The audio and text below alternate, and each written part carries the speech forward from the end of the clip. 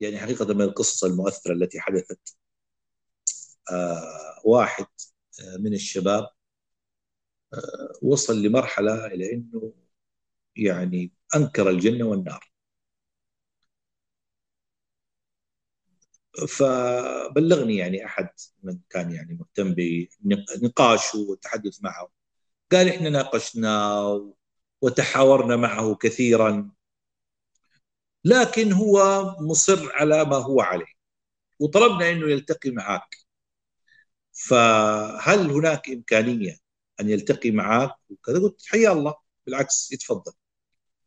فهذا الشاب جاء وجلس. فقلت له طيب إحنا الآن ليش ما تخلي الله سبحانه وتعالى يخاطبك؟ الله سبحانه وتعالى يخاطبك. قال إيش أسوي؟ قلت له هذا القرآن الكريم افتح المصحف على أي مكان.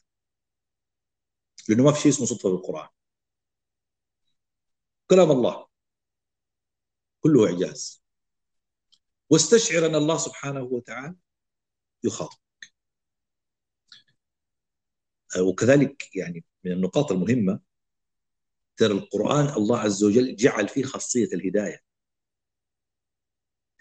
يعني آه الله عز وجل يقول إن هذا القرآن يهدي يعني هو نفس القرآن. الله عز وجل جعل فيه الخاصية التي يكون فيها الهداية. إن هذا القرآن يهدي للتي هي أقوى. لو تلاحظوا كثير يعني مثلا غير مسلمين يسمع القرآن يهدأ قليلا يعرف ماذا يريد الله عز وجل؟ ما هو المعنى؟ يدخل في الإسلام. الشاهد في الموضوع هذا الشاب فتح المصحف فوقعت عينه على قول الله عز وجل وعلى الثلاثة الذين خلفوا حتى إذا ضاقت عليهم الأرض بما رحبت.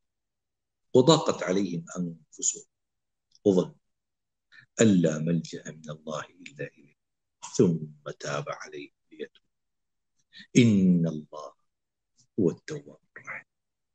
قال خلاص. وصلت. قال له إيش؟ قال لي إحنا مجموعة. دخلنا كده في أفكار وهذا إلى أن وصلنا بإنكار الجنة والنار.